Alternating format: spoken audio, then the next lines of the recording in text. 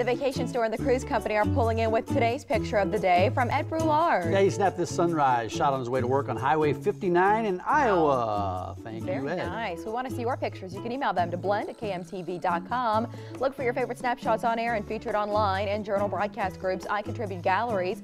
And look for the vacation store and the cruise company picture of the day tile on our website.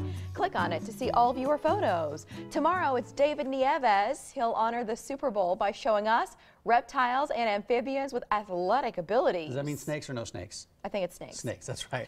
and from this year's crop of Super Bowl commercials, we'll talk about it and tell you about, uh, which is really interesting, how they affect businesses that don't spend a dime. Plus, healthy snacks from the Fresh Roast store and a few options if you're looking to indulge. Tomorrow's Friday. You know how we do our Friday shows. We'll see you then at 9 o'clock.